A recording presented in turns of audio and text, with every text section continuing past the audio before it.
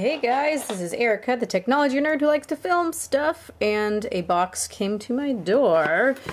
The Galaxy S3 from Global Mobiles. I got this, of course, off Amazon, just in case if I have any issues, I make sure that all my products are fulfilled, at least, by Amazon, so that I can uh, return it and get another one.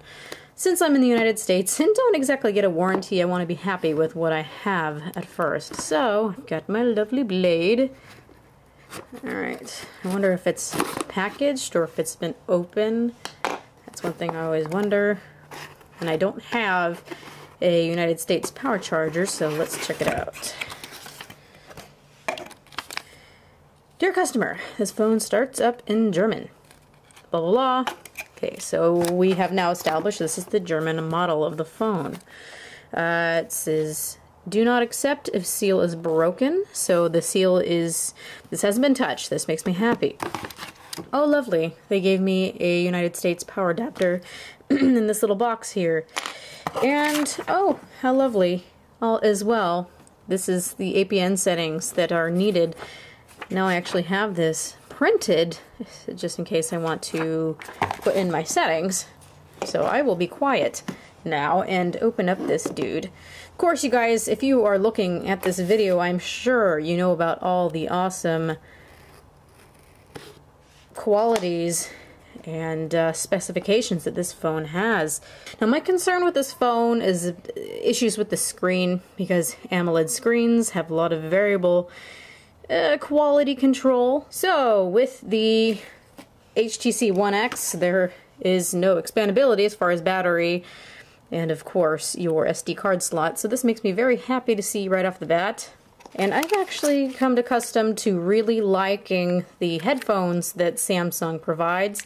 They're uh, in-ear and they have earbuds and I notice that the noise canceling is great. I'm studying right now, which is what I should be doing, and it's been canceling out all the awful yelling and screaming of the five kids that are in my family. Feeling is very, very sturdy actually. When I push the battery cover in, I'm not feeling any obvious compression or anything like that, so this does feel like a very sturdy phone in hand. And actually, to me, I prefer the feel of this over the HTC One X, which I will do a comparisons video to as well. Uh, yes, Deutschland, so that would be, of course, German.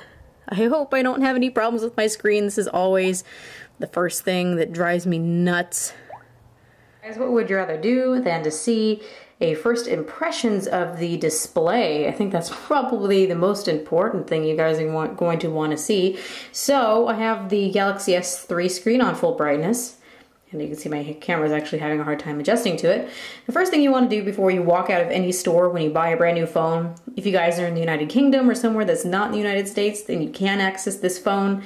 You want to be able to check the phone first by going under your dialer you can't do this with every phone. This is something that's exclusive to Samsung's own diagnostics testing. You want to push star, pound, zero, star, pound, and it pulls up, woo, very bright, a lot of light, pulls up a LCD screen diagnostics test. And just go ahead and test to see if there's any dead pixels or any types of weird gradients or weird colorations on the screen. Now on my screen, what I'm not seeing, and which is very good, is when you go into receiver, sorry for this buzzing sound, I, what I don't see is any weird type of discolorations. Even when I do go ahead and put this on the lowest brightness, I'm not seeing any weird color balances. I'm not seeing any pinks. I'm not seeing any blues. To me, this looks like as white as an AMOLED display can be. So that's very, very promising. So uh, under red, red is very nice and I'm not seeing any dead pixels. That's the first thing I notice is that there's no dead pixels on this display. I am so happy and there's no weird gradients or weird colorations either. But what I do see on the red and the green is I think this has to do with the actual way that this display has been um, fabricated or manufactured. You can't see it on here. This surprises me. I, I can't get my camera to see what I'm seeing, but what's happening is that there is uniform, at least it's uniform, so at least this doesn't bother me too much, is that there are very faint lines that go all the way across the display in a uniform fashion. like a pattern almost. Um, now, since it is uniform, I'm, or just the same across the entire display, I'm not too worried about that. And it's not something that I can see during video or anything like that. It's only when it's against a solid color. And you can see it on the green as well. Now, if it's further away from my face, I can't see this gradient. So this is not, not a gradient pattern. Uh, so this is something that's probably not gonna bother anybody. I'm not, who's gonna sit here and stare at a solid green display, but somebody who's completely paranoid. Blue, it doesn't do it against blue. I found that was quite interesting, is that it just looks nice, solid, and blue. So this is a very nice panel. I am very happy that I'm getting really good results with this panel because I know that some people are getting ones that are pink, some are getting ones that are blue um, in colors and fading in weird places. So not all of them are like this. And so I have to congratulate Samsung for making a panel in a more stable manner. So this is actually pretty good. Here we are, on the bottom is the Galaxy S3, and the top is the Galaxy Note here, and they're both placed at maximum brightness. And what I want to test and show you guys is really the difference in the quality between these two. Now, Samsung, I feel, has been working hard and changing a couple of things.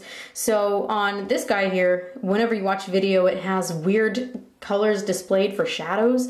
And it also has a lot of clipping black clipping really. And clipping is where you'll see one particular color and then once it starts to get darker it'll just hit black and there'll be no fade in between.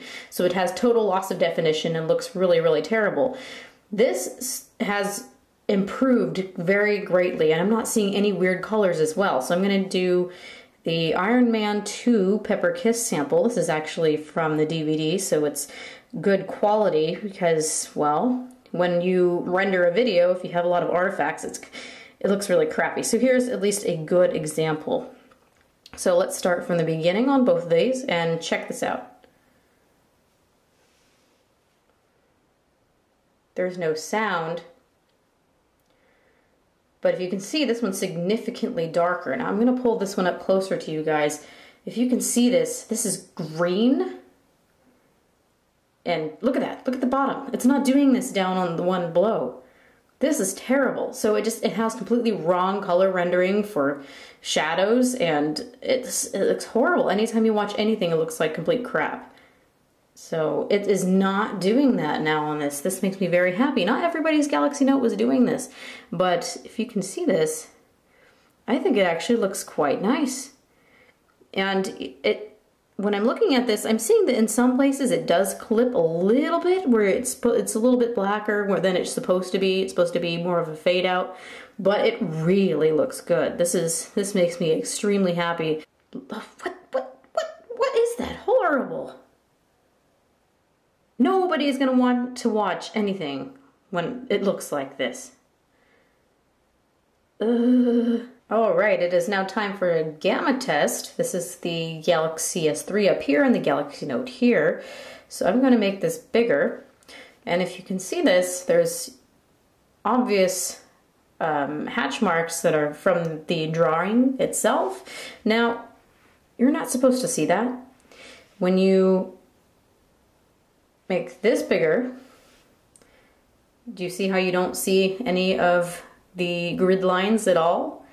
Yeah, you can see that just by this, that the Galaxy S3 is indeed showing colors so much better. But, I mean, if this isn't obvious, you can see those grid marks. No grid marks, it's uh, perfectly black.